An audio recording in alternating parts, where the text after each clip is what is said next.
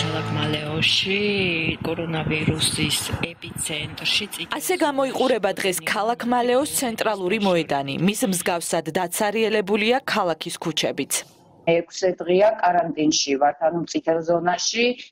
ვიდეოს, რომელსაც თქვენ ახლა უყურებთ, ქალაქ მალეოშია გადაღებული. კადრები კი იმედის დილის რესპონდენტმა ანა ენუქიძე მოგვაწოდა. ქალაქი მალეო ლომბარდიის რეგიონში შედის. იტალიის სწორედ ამ ნაწილში დადასტურდა კორონავირუსის პირველი შემთხვევები. მალევე ლომბარდიის რეგიონი წითელ ზონად გამოცხადდა. პოლიცია და სამხედროები დგანან ქალაქიდან გასასვლელში, ანუ ყველა ქალაქიდან გასასვლელში მე მაქვს 11 ქალაქზე საუბარი, საიდანაც ეპიცენტრი დაიწყო. სადაც ეპიცენტრი იყო, ანუ ამ ქალაქებიდან გასვლის უფლება არ გვაქვს. და ქალაქის შემოსასვლელს აკონტროლებენ, გასასვლელს და შემოსასვლელს, ანუ არც არავინ გადის და არც არავინ არ შემოდის. ეს არის ხილის მაღაზია, ამ წუთას დაკეტილია შესვენება, სადაც შეგვიძლია პრობლემის გარეშე ვიყიდოთ ობიექტები და აფთიაქები მუშაობს.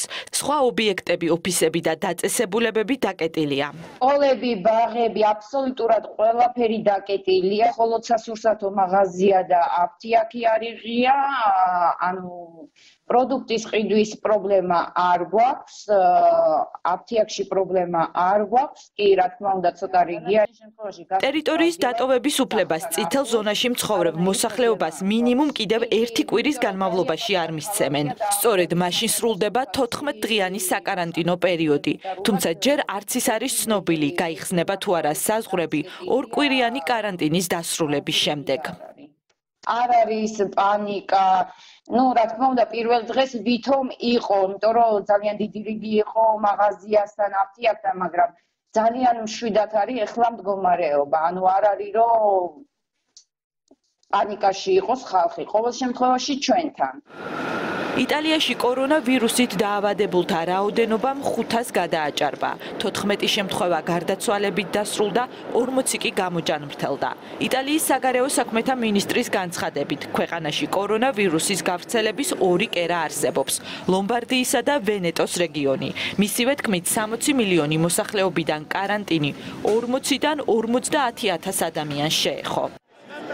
კორონავირუსის გავრცელების მაღალი მაჩვენებელია ირანში. დაინფიცირდა 250-მდე ადამიანი, მათგან გარდაიცვალა 26, გამოჯანმრთელდა 49. კორონავირუსი დაუდგინდა ირანის ვიცე-პრეზიდენტსაც.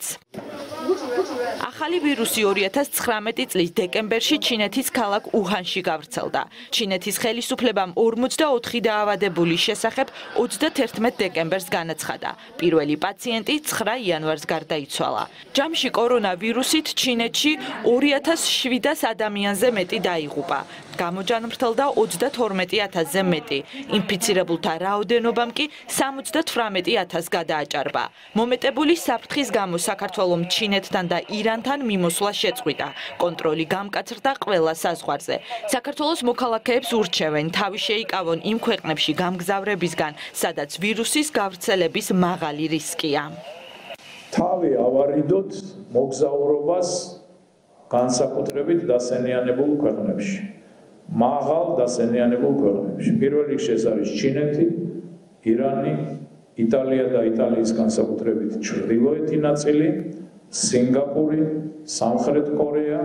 კორონავირუსის მსოფლიო რუკაზე საქართველოს 26 თებერვალს გამოჩნდა. მოქალაქეს, რომელიც აზერბაიჯანის გავლით ირანიდან ქვეყანაში შემოვიდა, ახალი ვირუსი დაუდგინდა. მისი მდგომარეობა სტაბილურია. ის ამ დრომდე ინფექციურ საავადმყოფოში რჩება. ზაობა ინფექციებთან ბრძოლის ქვეყანაში ბევრად მაღალია ვიდრე ეს ყოფილა ბოლო რამოდენიმე ათეული წლის განმავლობაში. აქედან გამომდინარე ჩვენ გვაქვს საფუძველი ვიფიქროთ რომ ჩვენ შევძლებთ ამ ინფექციასთან გამკლავებას. ჯანდაცვის მსოფლიო ორგანიზაციამ კორონავირუსი გლობალურ საფრთხედ გამოაცხადა, თუმცა ითქვა, რომ პანდემიის გამოცხადების საფუძველი ჯერ არ არსებობს. მიუხედავად ამისა, მედიკოსები ყურადღებისკენ მოგვიწოდებენ და რამდენიმე რჩევას გვაძლევენ. გვირჩევენ ხშირად დავიბანოთ ხელები. ხველისა და ცემინებისას პირსა და ცხვირზე ერთჯერადი ცხვირსახოცი ან მოხრილი იდაყვი ავიფაროთ. ცხვირსახოცის გამოყენების შემთხვევაში ის დახურულ ურნაში გადავაგდოთ და ხელები დავიბანოთ. შევი დავინარჩუნოთ დისტანცია არანაკლებ 1 მეტრის მანძილზე, განსაკუთრებით იმ ადამიანებთან, რომლებიც ახველებენ, აცემინებენ ან მაღალი სიცხე აქვთ. არ შევეხოთ დაბინძურებული ხელებით თვალებს, ცხვირსა და პირს. თუ გაქვთ ხველა, სიცხე ან სხვა სიმპტომები, ან ბოლო დროს ვირუსის გავრცელების მაღალი რისკის ქვეყნებში იმყოფებოდით, ექიმს უნდა მიმართოთ. Thank you